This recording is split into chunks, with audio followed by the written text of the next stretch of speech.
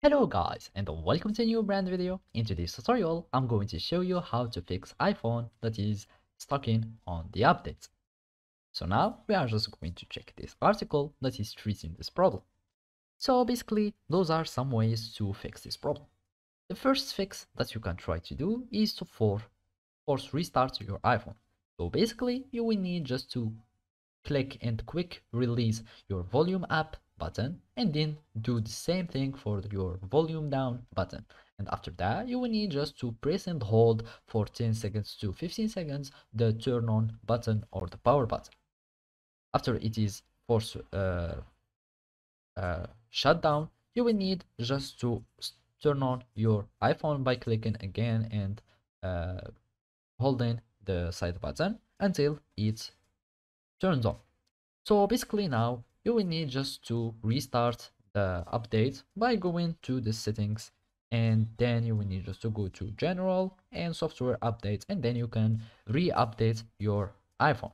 So basically you will need just to charge your iphone's battery first because sometimes if the battery is uncharged the update won't uh, resume or won't be able uh, to continue.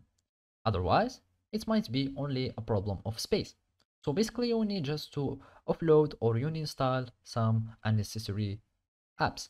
So basically you will need just to go to settings and then go to general.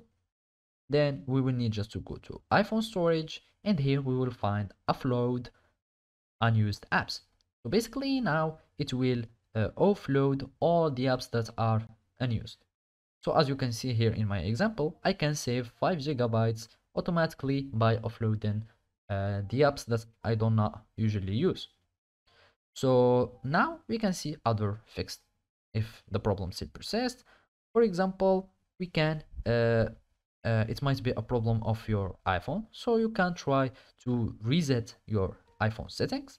And basically you will need just to go to settings, general, and then go here and you can reset your settings.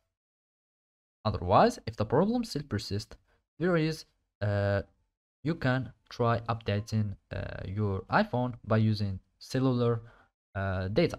So basically it can be just a problem of internet connection and that's why your iPhone is not updating.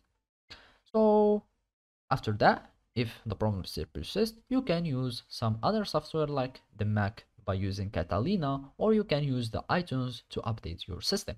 So basically all you need to do is to connect your iPhone to your uh, iTunes or your PC and then you will need just to check for updates and you will have your phone that will be updated. So basically this is how you can do it. Thank you for watching and see you next time.